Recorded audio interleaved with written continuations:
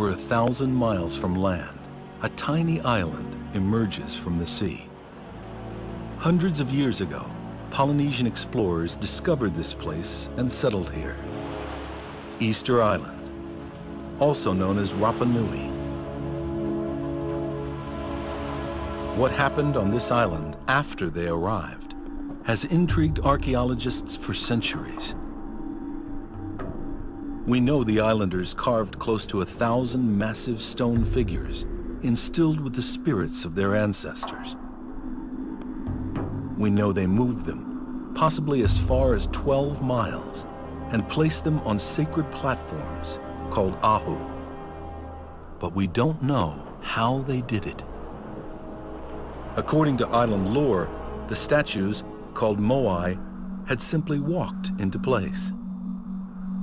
But how could a people who had no metal tools carve such imposing figures? How could prehistoric farmers who didn't have the wheel move enormous statues up to 30 feet tall and weighing close to 82 tons?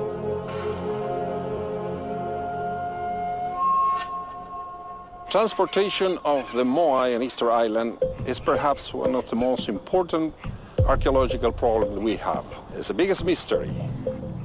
Sergio Rapu was born and raised on Rapa Nui and served as governor for six years.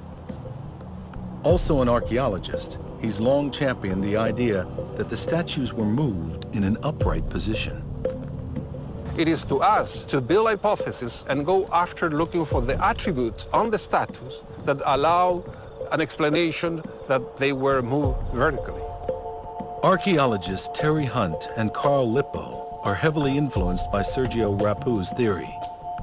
The key to proving it, they hope, is inside this box. Here it is. It's a huge crane. oh no. This is going to be sort of scary to see it come out of there. It's so enormous. wow. I don't know if I'm going to feel better or worse when I see it because the box is big and um, we're going to move it with a small number of people. Um, Holy cow. Oh my God. that is amazing. Perfect replica. You know what? Yeah. This is making me feel sick to my stomach. This precise replica of a moai is the centerpiece of a simple but radical experiment being conducted in Hawaii by Lipo and Hunt.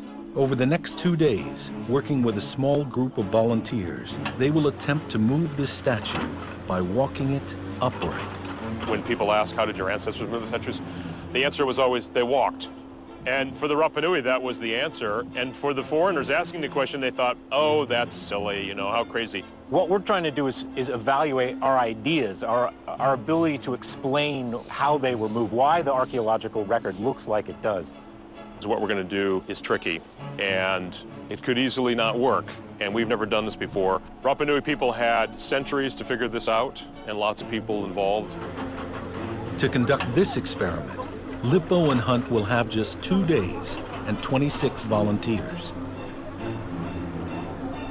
The statue tradition was brought by voyagers from Polynesia to Rapa Nui. Throughout Polynesia, carved wooden and stone figures are common, but no other island can compare with the size or number of statues found here. According to oral tradition, the Moai were carved to represent the spirit of the islanders' ancestors. The statues are the living face of our ancestors. In order to look living, you have to put the inlaid eyes on the statues.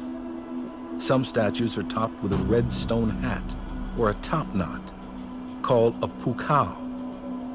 The moai were cut from volcanic tuff, a porous stone made from compressed ash. Almost all of them were carved here at Rano Raraku, a massive quarry inside one of the island's three extinct volcanoes. Littered around the site are statues in various stages of completion, some still emerging from the rock. The most common way of carving the moai here is to carve around the face and the body, like awakening the statues from the rocks. To do this, carvers used very dense stone tools made of basalt like this one, used by modern-day carver Umi Kai. in Hawaii. What we're trying to do is just cut a design that we want to follow into the, the tuff. Umikai is using a replica of the same ancient tool called a toki to carve a small version of a moai eye socket into volcanic tuff. If I was to do this with a modern tool, it'd probably take maybe 45 minutes to an hour. This, this will take uh, maybe a, a whole day to two days. It probably take the team of 12 people a year to produce a moai of this size. Once the moai is completely carved, the back will be still attached to the mother rock with a keel. Eventually that keel will be perforated and some loose rock will be added under the back of the moai so it remain floated as they cut off and release it from the mother rock. After they finish carving, they slide it down, raise it at the foot of the hill, then they finish carving the back. At this stage, the moai was ready to be moved to a sacred platform called an ahu, known to be a place of religious ritual. There have been lots of speculation about how the statues were moved from crazy theories if they were shot out of the volcano to aliens moved them. But in modern research, there's been a whole family of ideas about using contraptions, um, using palm logs for tripods or sleds or rollers. According to several of these theories, the islanders used logs to move the moai. When University of California archaeologist Joanne Van Tilburg tried using a wooden sled to move a moai along wooden rails. It's similar to a traditional method Polynesians use to move canoes out of the water. Ultimately, the experiment worked, and it gained wide acceptance. But not everyone believes the log theory. The problem with these series is that they have not drawn on the evidence that we see on the moai, the statues themselves, on the roads. As they investigated the statues and the roads, they began to accumulate clues that they think will tell a different story. Building on another researcher's data and using satellite imagery, Hunt and Lipo have surveyed almost 20 miles of ancient roads. There are several roads that begin at the statue quarry at Raraku and go uh, along the south coast. Some go north, some go across the center of the island. These roads were used to, to move moai to every corner of the island. They think the network of roads may have been even larger, but the degraded road beds can be hard to find with the naked eye. So they're testing a drone equipped with a camera that will give them more precise observations. Three, two, one, go. Wow. We have satellite images coverage for the entire island, and we can see certain kinds of features. This gives us a way of integrating that at a level where we get incredible detail. The drone may help identify new roads, which can then be ground truthed with modern surveying equipment. Hunt and Lipo believe a crucial clue to how the statues were moved may lie in the slope of the roads, which they have measured, confirming the results of an earlier team. We found that the roads generally have a, a maximum of a three degree rise as they go uphill, and then a maximum of about six degrees when they go downhill. The island is fairly hilly, and the inhabitants understood that to move the statues, the roads would have to be leveled so that they had a consistent and fairly gentle grade. But how did they move them?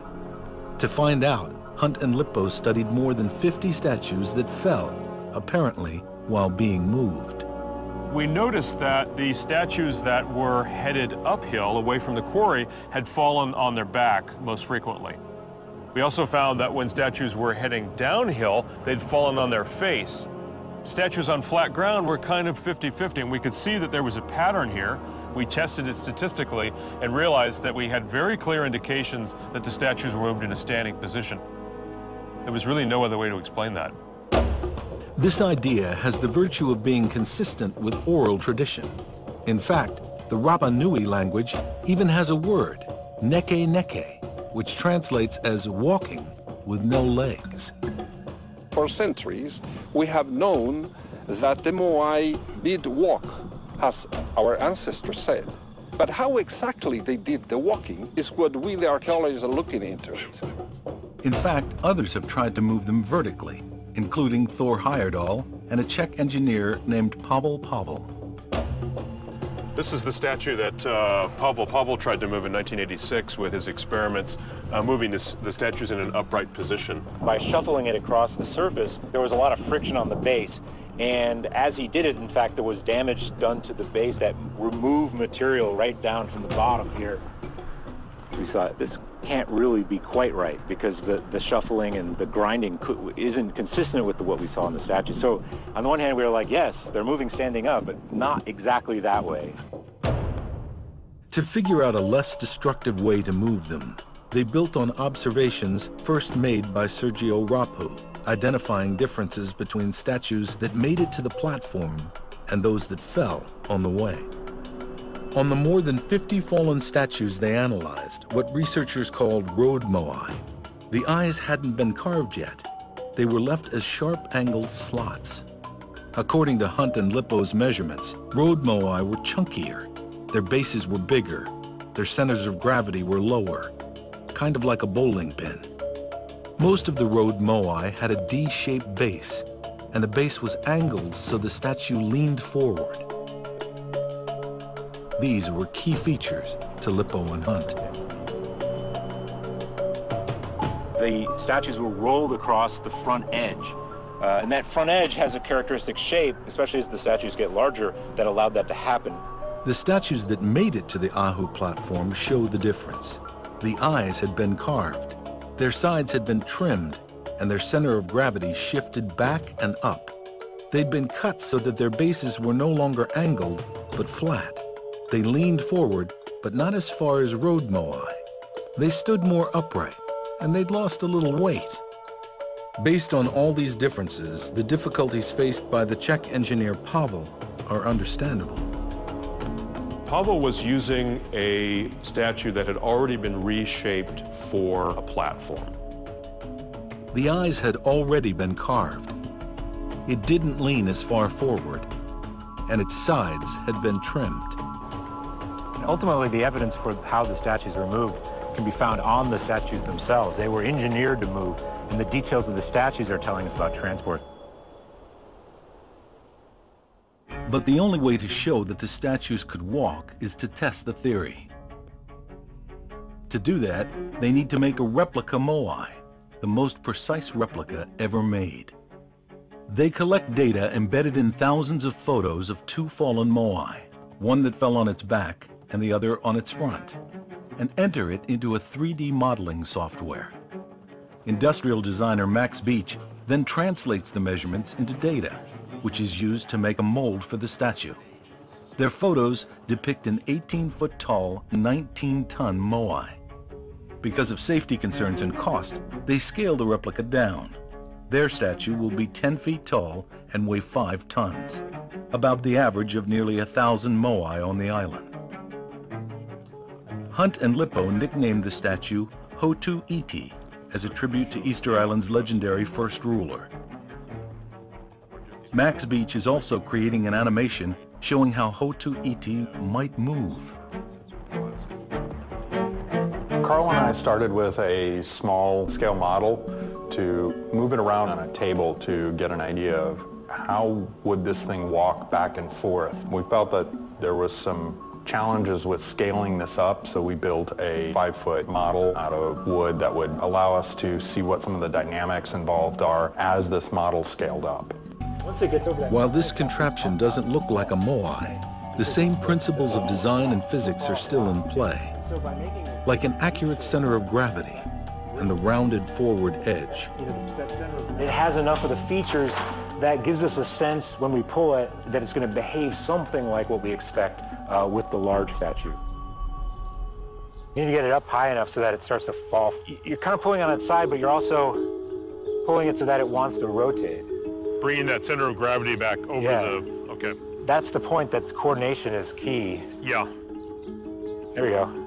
That was a good step there. good, good, yeah, beautiful. In addition to understanding the physics of how the statue should move, figuring out where to tie the ropes is going to be critical in making the experiment with the larger replica moai a success.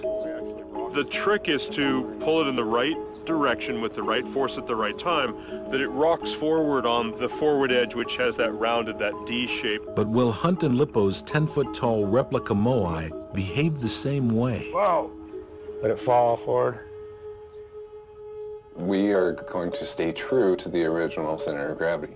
Engineer James Dedish is designing the mold for Hotu Iti, paying special attention to the center of gravity and how the statue is balanced. When I apply density to this model, it calculates the exact center of gravity and is saved in this coordinate system right here in the center. This is important because if the center of gravity was off, it could alter the uh, the way that these were moved. So if, if the experiment is to determine that these could be moved by walking them, then the center of gravity has to be at the same height as it was originally. The mold itself is comprised of four layers and made in two halves, split down the nose. Hotu will come out of the machine with about uh, plus or minus 30 thousandths of an inch accuracy overall. This is incredible in comparison to any other recreations that have been made that have been mostly glossed over and symmetrical. This is nearly exact of what you can find on Easter Island.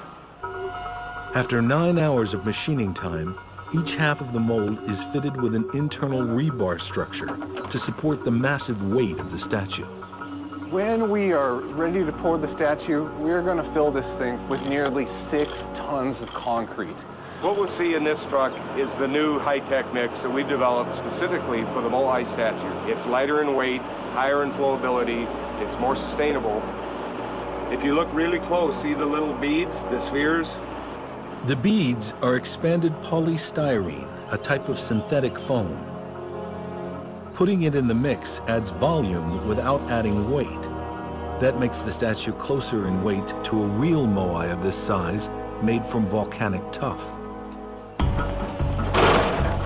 We're burying him to equalize that hydraulic pressure from the outside so it can't move. It took 10 days from the time the concrete was poured into Hotu Iti's mold to the time the 5-ton, 10-foot tall replica was carefully extracted from the ground.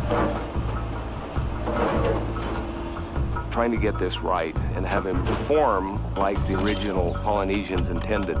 That's what our mission is.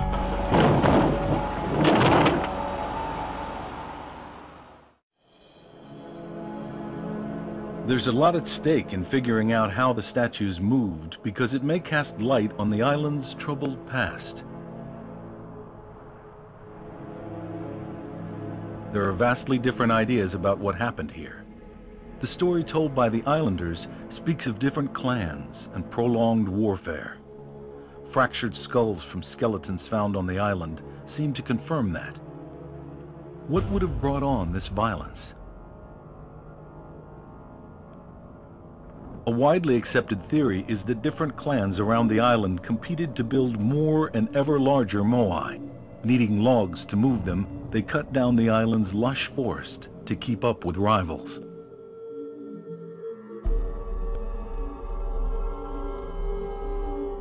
As the forest disappeared and resources grew scarce, the rivalry turned violent and the society descended into chaos. Some have described this as a case of ecocide. A culture bent on overexploiting its resources spirals into cultural collapse and disaster. But is this a true picture of what happened here? Easter Island once looked very different. Pollen evidence shows that 25 various species of trees and shrubs once grew here, and reveals a dramatic change as the island was deforested, something pollen expert John Flenley attributes to human activity. Our pollen results were strongly indicating to us that people had destroyed the forest. In fact, it was the clearest example in the world that I had ever come across of deforestation by people. Throughout the island, excavations have revealed the impressions of countless palm root molds like these. This island once had a palm forest, and one way we know that is because of the preservation of these palm roots that document that there once was a palm forest, a very extensive palm forest across the island. These lines here, uh, these black lines, uh, trace the paths that the roots of the palm trees once made. But some scientists believe that the trees were cut down not in a frenzy of statue building and moving, but for the simple reason that these were farmers. These people were agriculturalists. They needed to clear land. So in a sense, the forests were largely superfluous to them. It's garden land that was essential to them, not palm forests that they couldn't eat. The whole notion that it was the cutting down of these trees that led to a collapse, if you will, of Easter Island is a bit uh, off the mark in my view. Archaeologist Pat Kirch studies human impact on island ecology.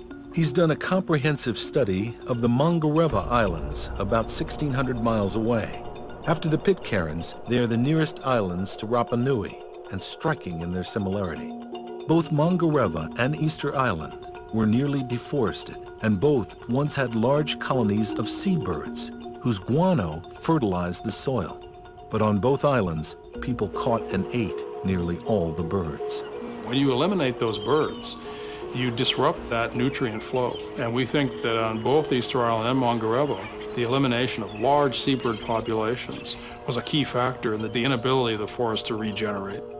The people also slashed and burned down trees to make way for farmland, and combined with the loss of seabird fertilizer, put their forest in jeopardy. And there may be another factor. During excavations here at Anakena Beach, the site of the first settlement on Easter Island, Hunt and Lipo unearthed evidence identifying what they believe dealt a significant blow to the forest. Rats, possibly brought as accidental hitchhikers by the original voyagers from Polynesia. Hunt and Lipo believe these rats played a decisive role in the deforestation of the island. We didn't really see the full significance of that until we started to realize that rats as an invasive species in fragile environments like this would play a pretty significant role in stopping the regeneration of new trees. They would eat the seeds of the native trees, in this case the palm trees, and the palms would not regenerate as they had done naturally. This is the same species that was on Easter Island. This rat is originally from Southeast Asia and has spread through most of the central and western Pacific. Will Pitt is a wildlife biologist at the USDA Wildlife Research Center in Hilo, Hawaii. This is a female Polynesian rat. In the wild, a lot of these rats only have about a year life expectancy. But a female like this could produce four litters a year. When introduced to areas with abundant resources and no natural predators, the first generation of rats could, in theory, have exploded to millions in just a few years. Even a fraction of that number would consume a huge amount of food. And it turns out that the food that the rats ate was palm nuts inside of which are the seeds that would spawn a new forest. Throughout the island, remnants of palm nuts show gnaw marks from rat teeth, supporting that argument. The role that these little Polynesian rats may have played in, in, deforestation is a very interesting one and a little controversial. It's a disruptive force ecologically, but I'm skeptical that it was the sole or major force. And the reason I say that is rats were transported to every island across the Pacific, but not every island got deforested. So it had to be a combination of some other factors along with rats that led to deforestation. The forest was likely wiped out by a perfect storm of human impact slash and burn farming, decimation of the seabird population, and the introduction of an exploding rat population on the island. But did the demand for logs to help move the statues also play a role? Or will Hunt and Lipo's experiment deliver on an alternative explanation?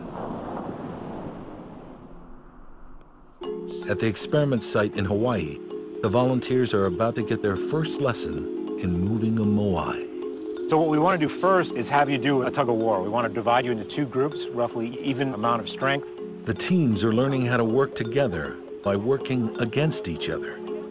Because cooperation is so important, we actually want you to be in a situation where it's really tough to win. On three. One, two, two three. Okay. Balancing the teams will be vital to balancing the moai in the actual experiment. Okay, you guys are a little too good so no one team can overpower the other. There you go. Oh, come on, come on. I think we're balanced now. The volunteers then graduate from tug of war to balancing a 10-foot tall wooden pole. Ready?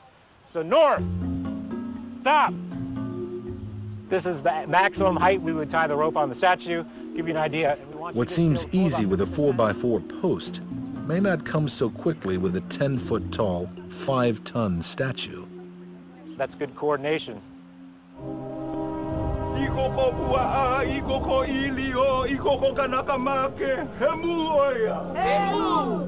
Through a traditional Hawaiian blessing, everyone on site is reminded of the cultural importance of what they're about to do. A Rapa Nui ritual is also included, and everyone shares in the eating of a white chicken cooked in an earthen oven. The aroma released upon opening the oven is said to feed the gods. Mahalo. Mahalo, thank you. Yeah, I do worry about the base is, isn't sharp enough, but the fact it's got the roundedness. To maneuver the five-ton statue, a crane operator attaches rigging to Hotu Iti's neck. Oh my god, look at those cables stretching. It's back up there. Wow. The rigging will also act as a safety measure to prevent the statue from tipping over. well done.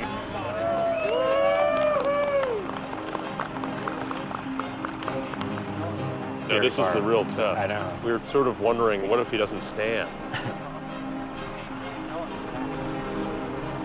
Is he resting on the ground? No, yeah, he'll fall over. Oh my god. Got to stand. Yeah. Yeah, yeah, yeah, we need to see that. Worst case scenario. It's got to stand. It's got to stand. That's the whole key. It leans forward because that's the way it was made. Oh my god. The statue will not stand on its own. Hunt and Lipo struggle to figure out why. Well, at the moment, you can see that the way the straps is, the way it's hanging. The center of mass line here goes straight down and is, is in front of the base itself. What we need to do is get it back so that this strap is hanging from over here to get it behind this point there. Right now, the way it's hanging, it's, it's just going to fall over. It's in a leaning position. Okay, what, what, what can our, you do? Our plan is to turn his truck around. He's got rubber bumpers on the very back of his okay, truck. okay. okay. Yeah, Support so- it like that so that we can get the straps out from Yeah, yeah, behind. yeah, yeah. Okay, good, good, good. My impression is that if he doesn't stand by himself, we probably have something wrong. The ancient Rapa Nui didn't have a crane. Their statues had to stand on their own. The rigging straps are adjusted, but Hotu Iti still does not stand. Uh, at this point, I have no idea what we could do to make this work.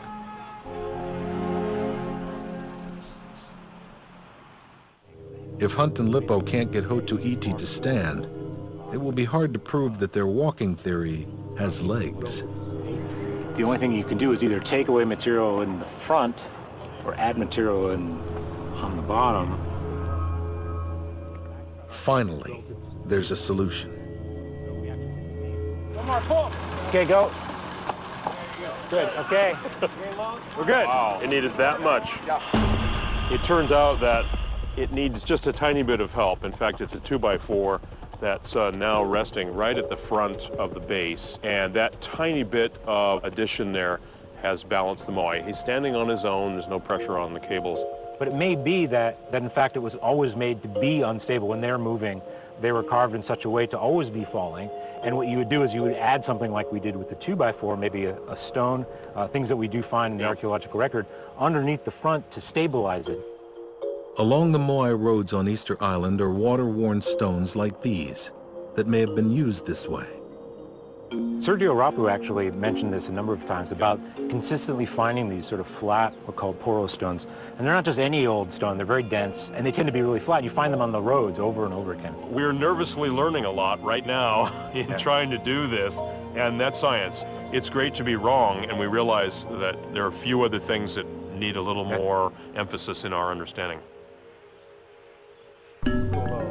Before it's time to make the first attempt at moving the replica, the volunteers sit down to watch the training video to see how the statue should move. Related to walking. And as we talked about, the D shape is one of the keys. It's being leaned over to the side and then it falls forward and rocks on that front edge. And I, I think we can do it. I think we have the force, we have the manpower. So now the question is getting the details. Before they try to move Hotu Iti, the volunteers need to make sure they can hold the statue upright. I want us to figure out, like, with everybody and its height at the highest point, can we hold it back? And then Okay. How many people do we want? 10, so five on each side. Okay, we need uh, five on each side, so six more people. Team leaders in the front, if it seems like you can't hold it as he releases the pressure from the crane, yell out so that we can stop and, and he can add more pressure, okay? Yeah, let's move the wood. Oh, wow, okay. Okay, so now he's going to release the tension and it's going to be up to you guys to keep it from falling forward. It's going to want to fall forward. Yell out if it's too much. Coming down. Can you feel it? Is it a lot? All off. All right, You guys how- are holding up the statue. Okay. Now the question is going to be getting it to fall on its front edge, uh, which I think we can do with just two teams. Uh, this was always our idea, is that the teams that are pulling are actually slightly behind the statue, keeping it from falling forward while rotating at the same time. With the safety rigging attached to the statue, Hunt and Lipo finally have the chance to test their walking theory. Starting out with Team A, I want you to pull. Just the harder you keep it constant, Okay, see if we can exciting. rock it a little bit. Okay, hold it. Uh, let's see how we're gonna. I want you guys to spread out a little more so that you're holding it, but more at an angle. Does this get harder or, e- or it's about the same? Easier? Easier at this angle? I want you to pull Team A to pull to see what happens. Pull. All right, hold. How's that? You guys exhausted? Okay. The teams continue to move farther and farther apart, simultaneously pulling and trying to twist the statue. But it's just not working. We're gonna want it lower, the, the ropes lower on Yeah, the yeah, shoulders okay, because okay. we have no leverage up there. But it looks like it's not so hard to hold it back right now. So I if it's know. around the neck, shoulder area, you can hold it back Yeah. and probably So we're gonna have to it. try re- roping it. As they reach the end of the day, Hunt and Lipo have to face the reality that so far, the experiment has failed. Unless they can get back on track, their failure will cast doubt on the statue moving theory and on their other ideas about what happened to the island's once robust and productive people. No matter how this island was deforested, without any trees, wind and salt spray damaged the already poor soil. Seabirds were gone, as both a source of food and nutrients that once increased the land's productivity. Some believe the loss of large trees meant they couldn't build canoes to leave the island. In one view, this is an environmental disaster leading to cultural collapse. But building on previous research, Hunt and Lipo came to believe that the islanders found a new way to adapt to the crisis. When we were first surveying here on the island, we were really annoyed by the loose rocks that we would walk over. Then we looked a little closer and we realized this was actually an area that was used for cultivation. And then on top of that, we would see uh, the taro growing in the rock areas and not in the soil areas. It was kind of backwards of what we might have expected. It confirmed what previous archaeologists believed, that what looked like random piles of rubble are evidence of an ingenious method to improve the soil called rock mulching. As you add the stones to the poor soil of Rapa Nui, you are increasing the nutrients available to plants. In addition to the phosphorus that leaches into the soil, the rocks help the soil retain moisture. If you look at uh, rock mulch across the island, there are probably billions of stones that are moved. I mean, it's just incredible how much rock has been moved and concentrated into efforts that uh, had to do with cultivation. But was it enough to stave off disaster? We have to really admire what the Easter Islands were doing, but not think that it was making their island into some incredibly productive system. It just helps to put off a worse kind of agricultural collapse. When Pat Kirch studied the islands of Mangareva, 1,600 miles away, he found the same kind of deforested landscape as on Easter Island. But ultimately, the outcome for the people there was different. When you compare Easter Island and Mangareva, both of them were heavily deforested. But on Mangareva, there's a huge lagoon, barrier reef, very rich marine resources. So the Mangarevans turned to those marine resources and really depended on them to develop their economy. On Easter Island, there's essentially no reef. There's very limited coral, very limited fish. So with their backs to the wall, did Easter Island descend into conflict? The population was growing, the scarcity of resources, there were a lot of competition, social uh, conflicts start building up and tensions between groups. And toward the end of Easter Island prehistory, there was a lot of war, a lot of conflict between one group and another. These sharp-edged obsidian implements found scattered across the island are often seen as the smoking gun, weapons, proof of a people at war. What I have in my hand is obsidian tool, and I think definitely it was used for uh, defense or attack as a weapon. But again, Hunt and Lipo disagree, saying these obsidian implements were everyday tools. The edge here has a lot of use wear that's consistent with carving wood, hard materials, and use with plant materials. But these implements have actually been found embedded in human skulls. I think most of the evidence that we have, it points more to use as a weapons. We have found catches of them next to a skull that mark exactly the shape of this tool engraved on, the, on that skull. The remains of some 500 Rapa Nui people have been studied to get a clearer picture of just how violent this society was. Enough of these bones show signs of injury and trauma that experts believe this was a place of significant conflict. In my view, it was a society in distress. It, it, had a lot of problems. They were pushing their agricultural system very hard. I think there's good signs that warfare was periodic and endemic. This tumultuous period began before European contact, which came in 1722 when a Dutch merchant ship arrived on Easter morning, hence the name of the island. As more Westerners arrived, stories about the island grew more lurid, even incorporating tales of cannibalism. Cannibalism seems to turn up when Europeans start to talk about it a lot in the mid-19th century. We don't see any evidence like that on Easter Island. We don't see chopped up human bones. We don't find human remains in the earth ovens. There's good reason to believe that the 19th century idea of cannibalism is that you were not yet Christianized, so you're Christian or you're cannibal, and cannibal had sort of a generic meaning. So could it have been something other than violence that eventually spelled the downfall of Easter Island society?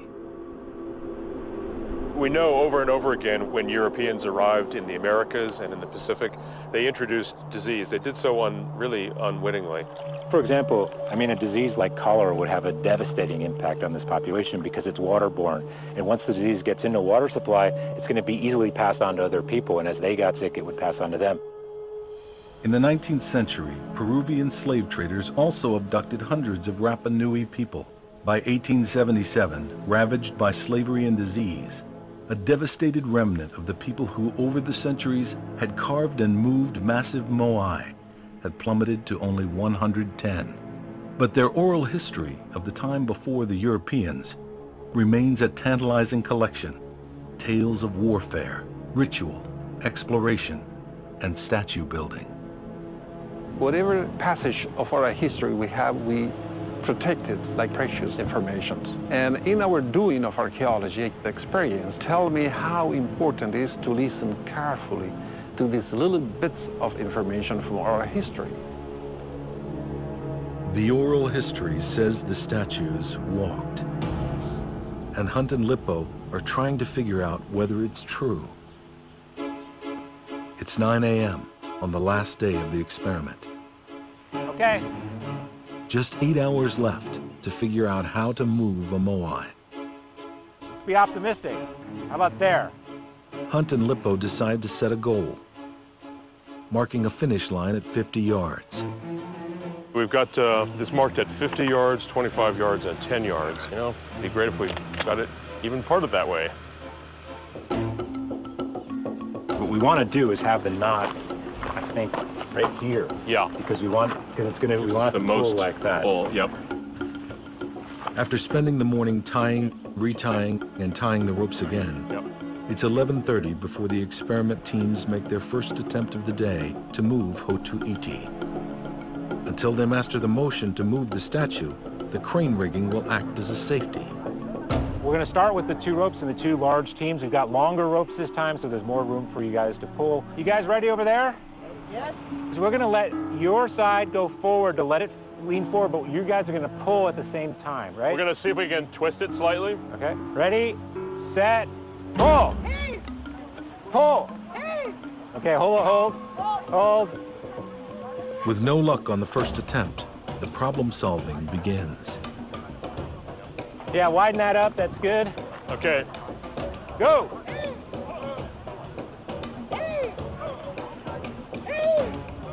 Okay, hold. Okay, we got it twisted. now we want to see if we can get the other way. No matter what they try or how they move, the team can't seem to twist the statue forward even an inch. Over the next hour, the statue doesn't budge. Hey, hold. It seems to be swinging and rocking, but not moving forward. Things are exactly what we want. Uh, just have to trust in the way it moves. And if it fails, we have a crane. Trust the ancestors here. Okay, so you're going to be pulling. They continue to try, but rocking Hotu Iti forward and back is the best they can do. In fact, it's the only thing they can do for hours. Hunt and Lipo were convinced the ropes need to be around the shoulders to get the leverage needed to twist the statue at the base. Okay, so let's get, can we get tension on the, on the statue? The, They adjust the ropes again, even taking the advice of a nautical knot expert when nothing else is working. As long as there's tension on here, that won't slip, and I think they really want the, the purchase to come from right here, so it's on the shoulder. ready? Go. The clock keeps ticking. Just three hours left to figure this out. Whoa, whoa, whoa. Oh, we almost lost it there. Oh, Hunt and Lipo struggle to understand why two ropes aren't working to move the statue forward since it worked with the wooden model. They decide to try something else. And everyone has an idea. That's what I was saying to you earlier about three let's get Carl. Hey, Carl, you need to referee in this. Yep. Sure was a lot easier yesterday when we were up high. Like one strong one. Yeah. That's where I feel like it's going to happen, don't you? have a rope on the top keeping it from falling. So there's three, it's like a Y. Because pulling this rope right now, it's, it's not going to work. Pulling it. So, so, so one per, so one rope up there just holding it back. It would be like one rope holding him back. We have a third rope? Yeah. Yeah, we do. Nothing's happening. It's, it's basically we can move it like this, or, you know, or like this, but we can't really get it to do what it's supposed to do. So what we've done is added a third rope, which we think is going to be really critical. And now we think with three teams, we're going to be able to get the motion going, take advantage of the kinetic energy that's built into the statue, allow it to fall forward on the front edge of the moai, uh, but team in the middle not allowing it to fall too much. As they retie the ropes, Lipo and Hunt make a new observation. Thinking back to the fallen statues on Easter Island, they remember Moai and Transport had sideways V-shaped notches where the eyes should be, a feature that now seems very important. The V shape to the eyes and the bridge of the nose is perfectly suited for tying a rope around and creating a place that you can put ropes and have friction, also tall enough to provide the leverage you need to move it. Perhaps the finishing is done because that area takes a little abuse with the ropes tied up high for that leverage, and so you finish them, add the eye sockets when the statues reach their final place on the platforms. It's an intriguing speculation, but it's a little late in the day for new theories. So we're going to alternate pulling. You guys are going to be pulling back and then releasing. It's 4 p.m. There's just one hour left to figure out how to make this statue walk. With the 10 people in back and more people on each side, they're ready to try one last time. Release the tension. How you guys doing? Good? Okay. Ready? Set. E. Oh. Oh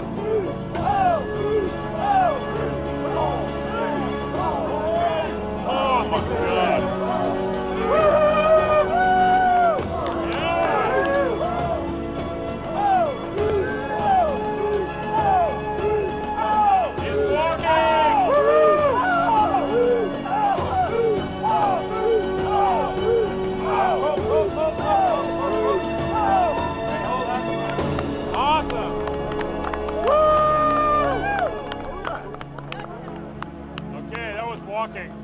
As the statue starts to move a few feet, it all starts coming together, and the safety straps come off. The crane is out. We're taking the training wheels off. We are going to move the statue without any help. Um, exhilarated and just amazed. Really happy, and we're going to get right back to it here. Let's go for the finish line. So this is how you move a moai. Ho! Ho! Once the teams get the hang of moving the statue, it becomes easy. Confident in their ability, they get a little overzealous.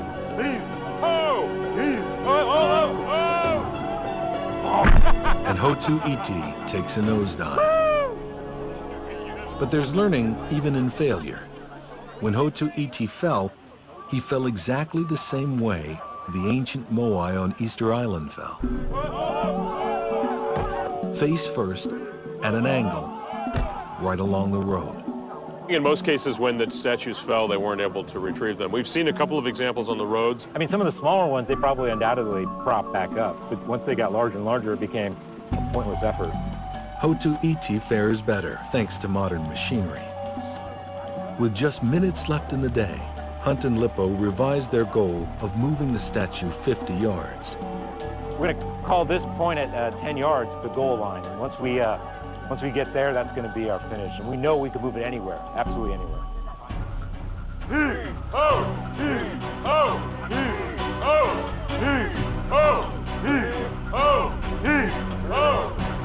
All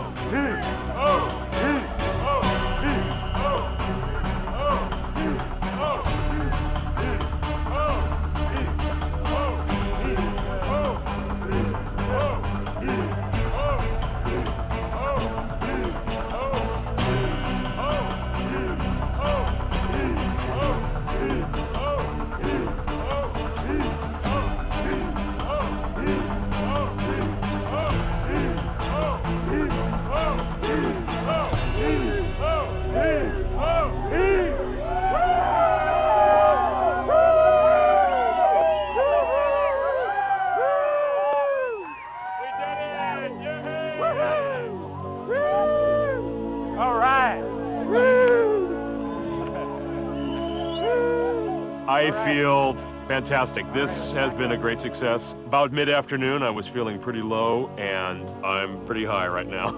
It moved exactly the way we thought it would. We just had to figure out how to get it started. What struck everyone was that once we got going, there was almost no effort involved. We were on the ropes and we could feel that first tug was work. And then when it started swinging, you could feel, I mean, we weren't even pulling on the ropes, the, the energy of the statue moving did all the work, and we were just kind of gently directing it. The method, the inputs that we're doing on a 10-foot version are exactly the same that would be required in a 30-foot version. All that would matter was scaling the initial input of energy. In later experiments, Hunt and Lipo were able to move the statue more than 100 yards in only 40 minutes. They also successfully walked Hotu Iti up grades of 3 to 4 percent. We may never know if this is how the statues were actually moved, but this success presents an intriguing new explanation. It perhaps goes one step further to solving the mystery of what happened on Easter Island. What we're doing today, we're pinpointing the archaeological evidence that come from oral history, the Moai Walk. The transportation of the statues is perhaps the most important contribution of these cultures to humanity. If this really is how the islanders moved the statues, it raises an important question. Do these statues that rise above this ravaged, treeless landscape serve as a cautionary tale for our times? Or as a monument to the human ability to innovate, create, and survive?